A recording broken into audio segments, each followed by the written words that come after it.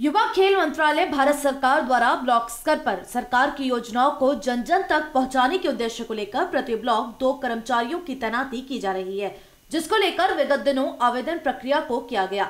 आवेदन प्रक्रिया में प्रतिभागियों के लिए शुक्रवार को विकास भवन पर इंटरव्यू की प्रक्रिया को अंजाम दिया गया। जिलाधिकारी राकेश कुमार सिंह द्वारा इस इंटरव्यू प्रक्रिया के लिए मुख्य विकास अधिकारी आनंद वर्धन को नामित किया गया था।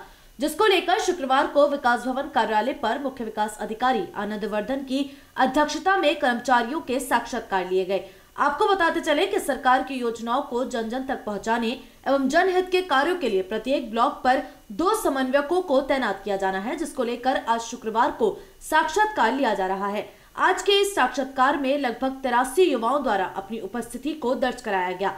मुरादाबाद के कुल चार ब्लॉकों पर 18 युवाओं को तैनात किया जाना है। सीडीओ आनंद वर्धन की मौजूदगी में सभी प्रतिभागियों का साक्षात्कार लिया गया।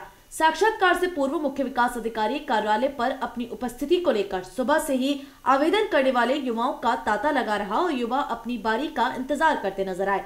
इस मौके पर मुख्य विकास अधिकारी आनंद वर्धन जिला विकास अधिकारी एस के उपाध्याय, जिला युवा अधिकारी अंकित गौड़, शासन द्वारा नामित सदस्य विपिन चौधरी प्रदीप गोस्वामी चंद्र सिंह मल्टीटास्किंग स्टाफ साहिर बलेचा आदि मौजूद रहे।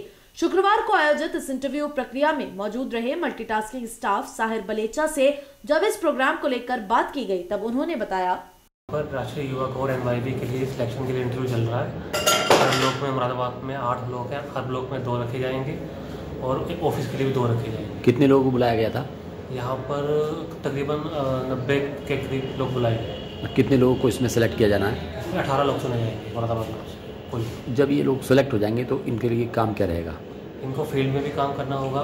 जो भी सरकार की स्कीम आती है प्रोग्राम हमारे नहरी के तरफ़ से आते हैं उनको गांव-गांव तक फ़ील्ड तक लेके जाना फ़ील्ड में काम करना युवाओं को इकट्ठा करना ये उनका मेन काम है।